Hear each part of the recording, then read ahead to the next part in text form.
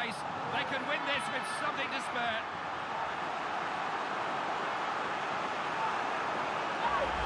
You can assemble a wall as long as you like, but when this man stands over a free kick, he can put the ball anywhere he wants. Yeah, he can get it up and down over the wall, round it, you name it, this man can do it. That's a great finish.